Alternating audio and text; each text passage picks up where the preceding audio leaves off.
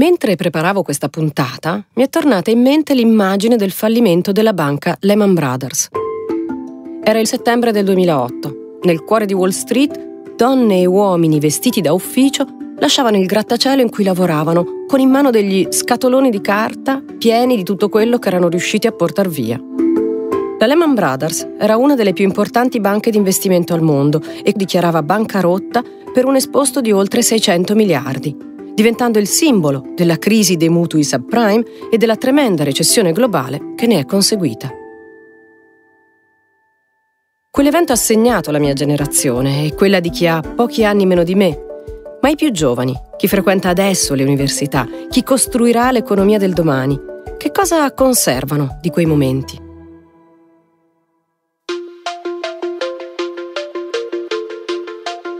Io sono Silvia Bencivelli e questo è Generazioni in Ascolto, un podcast di Cora Media per l'Università di Roma Tor Vergata.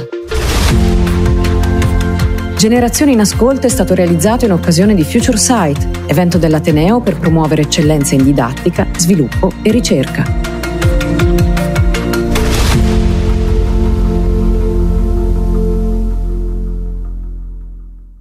Essendo io nato nel 2001 non ricordo propriamente diciamo, quel periodo in quanto ero molto piccolo, poi al di là di quello letto sui libri universitari o di racconti di persone più grandi. Ecco lui è Andrea, ha 21 anni e studia economia. Un evento significativo per me, pochi anni dopo, pochi anni, pochi anni dopo diventa una nota su un libro di testo. Mi chiedo che cosa è cambiato in questi anni. Le nuove generazioni avranno strumenti per capire più a fondo come gli uomini e le donne della finanza si comportano nel mercato? E quanto c'è di aleatorio, di irrazionale, di umano in fondo in quei comportamenti? Ecco, è proprio da Andrea che voglio iniziare questa esplorazione, partendo da lui e dai suoi interessi particolari. Il funzionamento del cervello è una tematica che mi affascina molto. Al, all'università invece questa tematica non veniva molto affrontata, però durante l'ultimo periodo ho iniziato a leggere argomenti riguardanti ehm, il collegamento tra l'economia e il funzionamento proprio del cervello. È una tematica che in futuro ho intenzione di approfondire molto e credo che sia di fondamentale importanza. Un secondo. Lo studio della mente non è proprio il primo argomento che ti viene in mente quando pensi all'economia. Andrea però ha ragione. Gli esseri umani economici non sono diversi da quelli che compiono qualsiasi altro tipo di scelta. Ci ha riflettuto anche Lucrezia Fattobene, ricercatrice in economia degli intermediari finanziari e docente di finanza aziendale dell'Università Tor Vergata. Cioè, ho pensato, alla fine gli economisti vogliono studiare le scelte e le scelte si prendono col cervello perché noi non stiamo studiando il cervello. La professoressa Fatto Bene per lavoro studia il comportamento del nostro cervello mentre facciamo scelte economiche e finanziarie, una disciplina chiamata neurofinanza. Per cercare le basi dei comportamenti è partita da lontano, collezionando una fitta rete di esperienze in campi che possono sembrare insoliti per un economista, ma non per lei, a quanto pare. Quindi all'inizio ho cercato di studiare, poi sono stata due anni in clinica dalla professoressa Ceravolo che è una neurologa e anche quello penso che mm, mi ha aiutato tantissimo perché comunque i medici hanno una forma mentis che è completamente diversa dalla nostra, quindi due anni immersa in una realtà così diversa eh, penso che mi, ha, mi, abbia, mi abbia arricchito tanto. E poi vabbè, in realtà negli ultimi anni sono stata semplicemente fortunata ad incontrare dei colleghi che mm, condividevano insomma queste stesse riflessioni mie e mm, soprattutto appunto anche qui a Tor Vergata. Ed eccoci qua, a ragionare su quali siano i meccanismi che guidano le nostre scelte, anche in finanza e in economia. A chiederci se il mondo dentro di noi, le nostre emozioni, possano condizionare anche le nostre scelte economiche. Se lo chiede anche Andrea. All'università abbiamo sempre studiato modelli economici eh, che erano basati sull'ipotesi di razionalità dei soggetti. Quello che mi chiedo è se ehm, l'introduzione della neurofinanza ha permesso di mm, modificare questi modelli e quindi di migliorarli. La risposta di fatto bene. Noi in economia e finanza eh, abbiamo sempre ipotizzato un decisore perfettamente razionale, impermeabile alle emozioni, con capacità di calcolo illimitate, ma in realtà eh, i soggetti hanno una serie di, di, limiti, una limitata conoscenza del contesto, capacità attentive, capacità eh, mnestiche, sempre riusciamo a tenere a mente un tot di numeri e poi diventa, diventa complicato. Quindi immagine ad esempio quando andiamo a fare la spesa e siamo particolarmente affamati, tendiamo a comprare cibi particolarmente grassi e pensiamo poi che i giorni successivi mangeremo con lo stesso gusto che immaginiamo durante durante la spesa tutto quel cibo, poi in realtà invece a casa un po' ci pentiamo e avremmo voluto comprare qualcosa un po' un po' più salutare, quindi non abbiamo sempre una perfetta conoscenza di quelle che sono poi anche le nostre preferenze future, perché i nostri stati emotivi del, del momento condizionano anche le nostre aspettative, le nostre preferenze future. Le neuroscienze stanno chiarendo che molti processi che guidano l'azione umana sono eh, automatici e inconsci e avvengono al di sotto della nostra soglia di consapevolezza, quindi senza che ne abbiamo contezza. Processi che hanno origine nel nostro inconscio. È un tema molto caldo tra chi studia le neuroscienze. Qualcuno si spinge a sostenere che perfino il libero arbitrio sia un'illusione.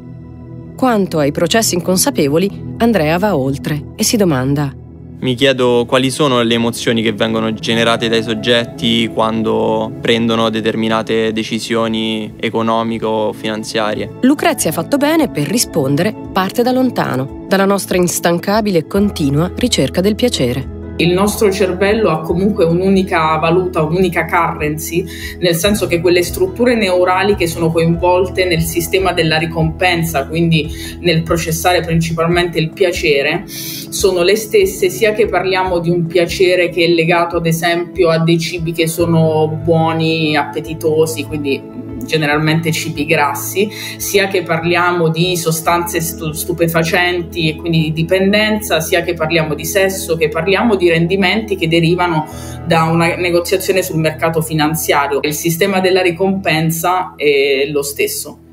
Cioè, motore segreto della grande finanza è il piacere edonistico. Ce lo dicono queste ricerche, guardando i broker, quelli che spostano milioni di dollari in un battito di ciglia ma anche guardando chi, senza esperienza, si perde nel mare delle transazioni finanziarie, magari lasciando dietro di sé tutti i propri risparmi. Ecco, osservandoli vediamo la ricerca del brivido, il piacere del rischio. E a volte questo non è troppo diverso da quello che succede, ad esempio, nella dipendenza da gioco d'azzardo.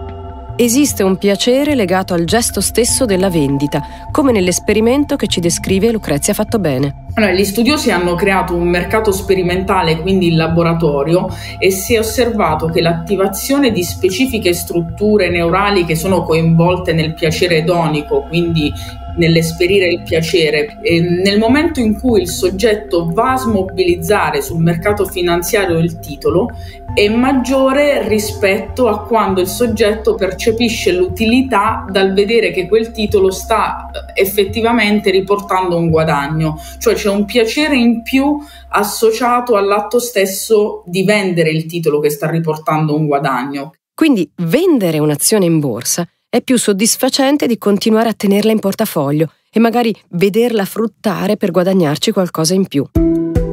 A questo punto però facciamo una precisazione, piccola ma utile a non creare fraintendimenti. Dire che gli stati emotivi giocano un ruolo importante nelle scelte economiche non vuol dire che sono gli unici fattori in campo. Questo deve essere chiaro. Però, se guardiamo ai miliardi di transazioni più o meno grandi che avvengono nelle borse mondiali ai titoli che vengono continuamente scambiati e alle bolle che si creano e poi esplodono e alla paura dei mercati, beh allora la somma delle emozioni di tanti gioca un ruolo più che significativo. Pensiamo alla frenesia di vendita e di acquisto che si crea in certe particolari situazioni.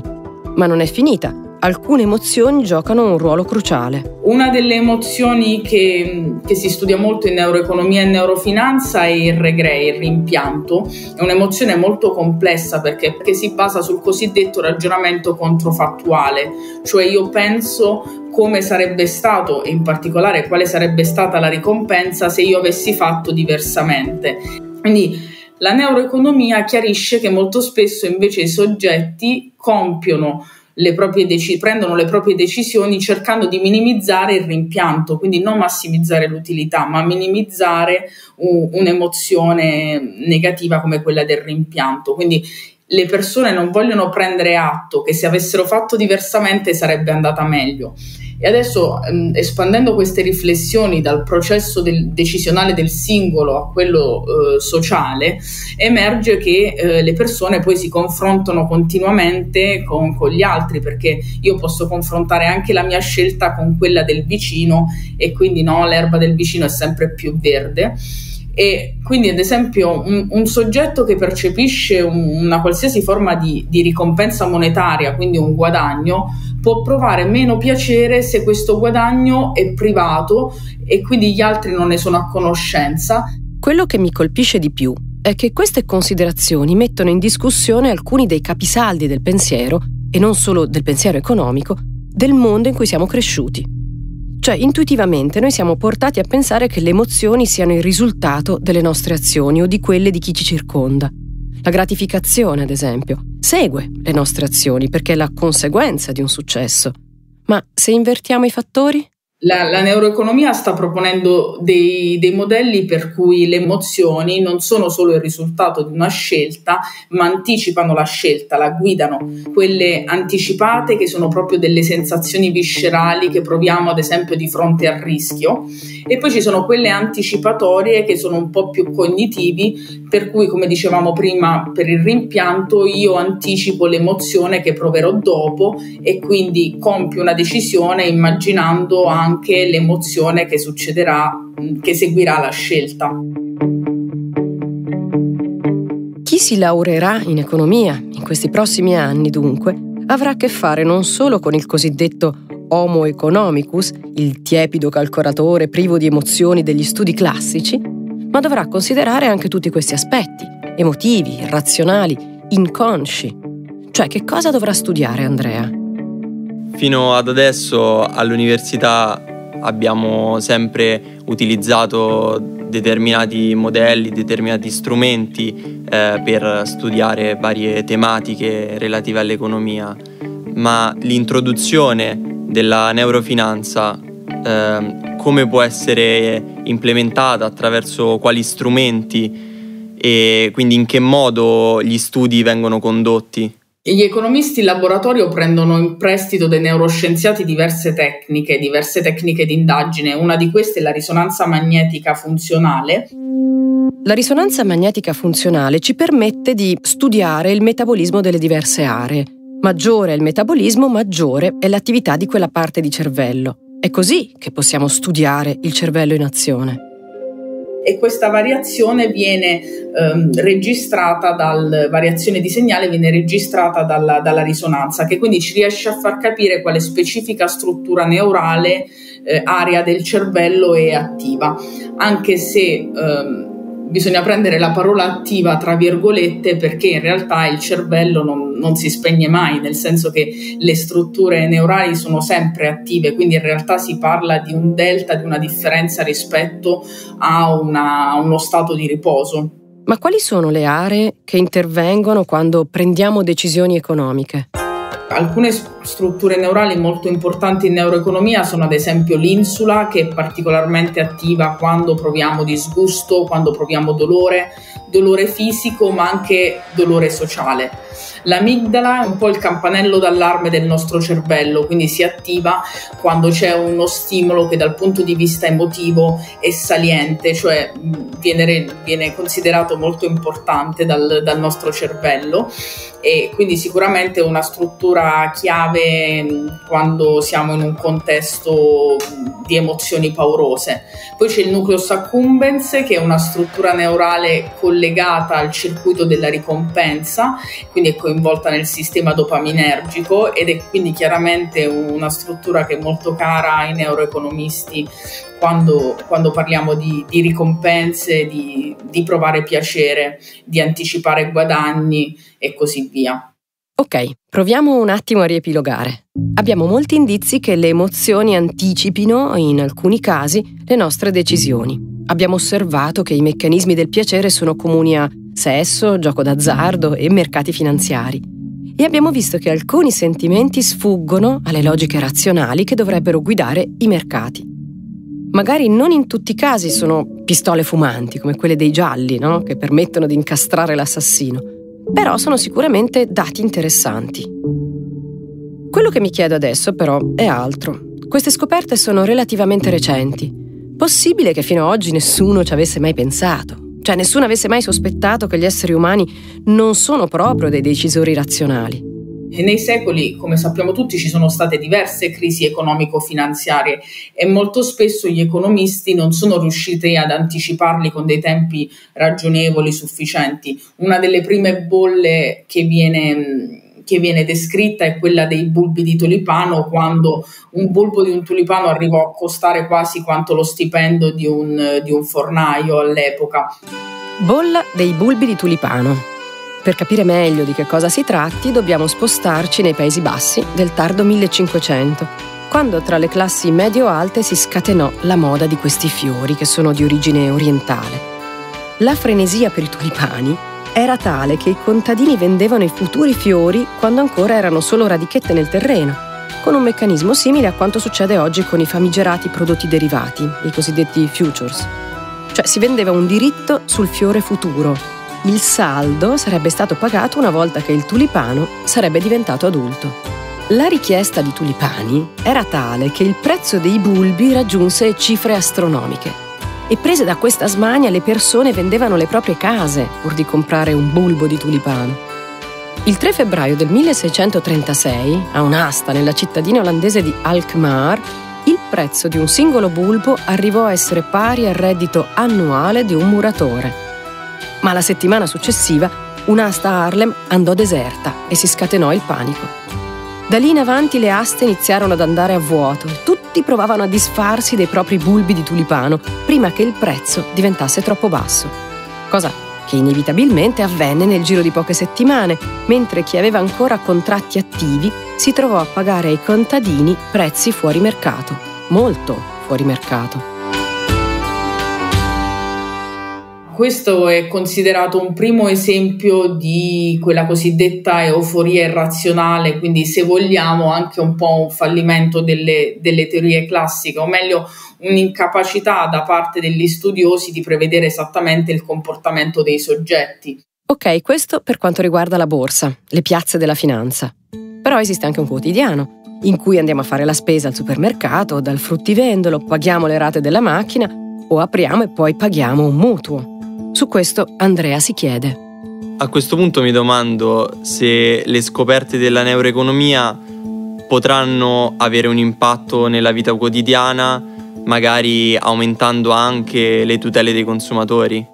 Allora, con il, con il, laboratorio di neurofinanza di Tor Vergata mh, si è dedicata attenzione a studiare l'attenzione, perdonate il gioco di parole, e, mh, che si dedica ai, eh, che il soggetto dedica ai documenti informativi, che sono quei documenti previsti dalla trasparenza per, per veicola, veicolare, per dare ai consumatori quelle informazioni principali che sono utili per prendere delle decisioni informate.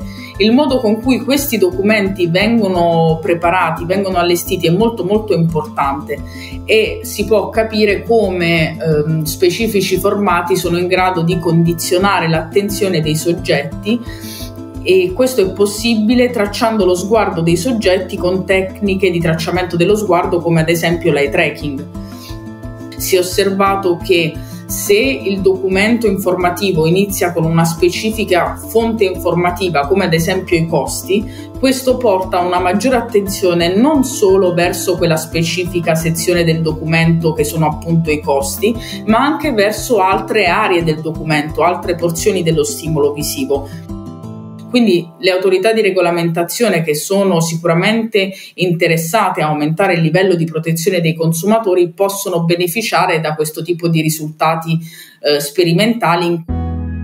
Siamo arrivati alla fine di questa puntata. Abbiamo visto che c'è qualcuno che punta a costruire una nuova economia che tenga in maggiore considerazione la nostra emotività e la nostra irrazionalità. Il futuro di Andrea, che a breve sarà economista, sarà quindi permeato di neuroscienze? E che cosa sarà della neurofinanza? Lasciamo ancora a Lucrezia Fatto Bene il compito di azzardare una previsione. Secondo me questa, questa, disciplina è importantissima per il futuro. Io lo pensavo già il mio primo anno della, durante il mio percorso di laurea magistrale. Ho pensato che questo sarà sicuramente uno di quegli argomenti che sarà importante per i prossimi 50 anni.